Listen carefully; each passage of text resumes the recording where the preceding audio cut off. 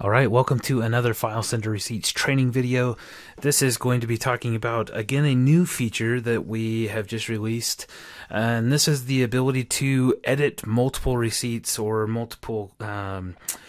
aspects or properties of a receipt uh, at the same time. So, this has been a pretty common request uh, over the last few months of being able to come in and maybe modify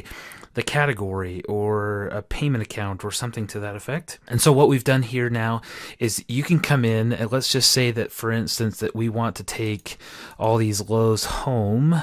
um, items that I want this to maybe be updated to something different.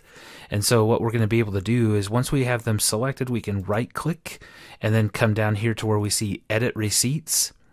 and then from here, you're you're not going to see an actual preview of the window, but over on the right portion of this particular uh, window here, uh, you're going to be able to come into the payee and you'll see here's all of our different options at this current time. Maybe I had been in a rush and maybe just typed in Lowe's home and I might want to just quickly come in and just say uh, that I just want Lowe's Home Depot or Home Improvement. And now we can come in we can click ok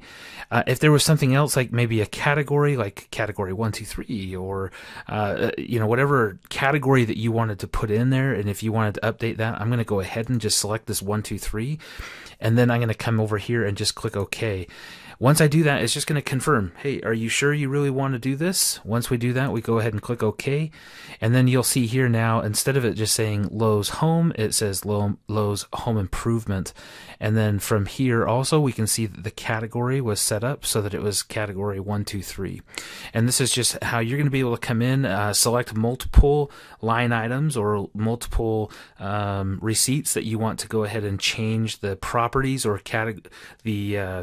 metadata, uh, I guess you could say, of of each one of those receipts, and you can come in and do that on a mass scale all at once, and it'll just make your life just that much easier. And you can just go ahead and sort by payee or something like that instead of by date, and that way, uh, what if you're trying to update, uh, like I just did with the Lowe's Home and Lowe's Home Improvement, uh, I can go ahead and just uh, have those all get grouped together uh, from what I had had before, and then make my modification. So hopefully that will help you out. If you have any questions, uh, as always, just go ahead and leave those comments down below or any questions or um, any kind of feedback in general. And we'll look forward to catching you on the next training video.